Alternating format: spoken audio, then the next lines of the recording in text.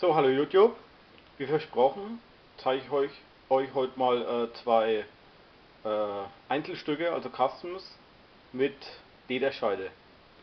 Nachdem ich ja gestern äh, die anderen beiden gezeigt habe mit der Kydex. Ähm, zuerst mal das hier. Ist vom gleichen Macher wie äh, gestern die beiden, die ich gezeigt habe, nur hier ist die, die Scheide vom äh, Stefan Kleinhuber.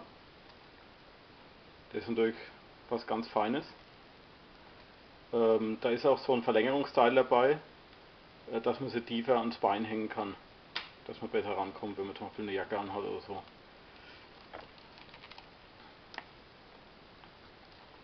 Das Messer selber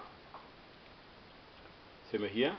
Die äh, Griffschalen sind aus äh, grünem Mikada gemacht vorne mit einem äh, Mosaikbin.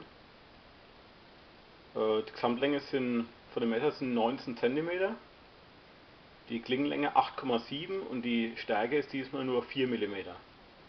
Äh, Stahl ist wieder 2842, das ist O2. Ähm, und das Gewicht von dem Messer sind äh, mit Lederscheide 268 Gramm und ohne 197. Äh, also ein bisschen leichter, aber immer noch ein ordentliches Messer. Passt bei mir auch perfekt in die Hand, wie man sieht.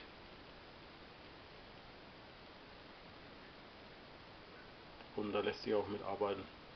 So ein bisschen äh, Bowie-Klinge angedeutet. Ja.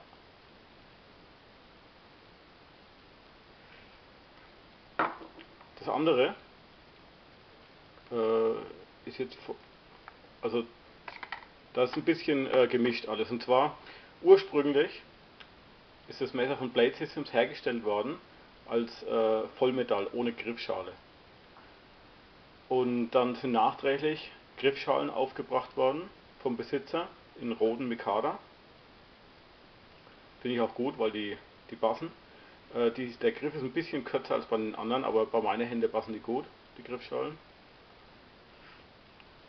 Ähm, das, bei dem Messer ist der Stahl O1. Also eine Ausnahme, das ist auch mein einziges Messer mit Ohr 1 Stahl. Die Gesamtlänge sind hier äh, 20 cm, die Klingenlänge 10,5 und die äh, Klingenstärke sind 5 mm und das Gewicht mit Lederscheide äh, 280 Gramm ohne 179.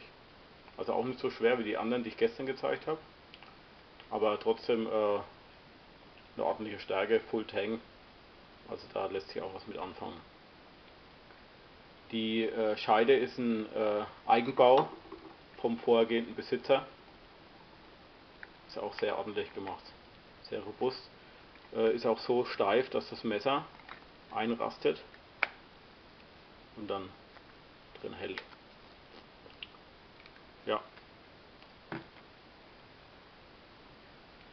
Die Messer wollte ich jetzt einfach mal zeigen.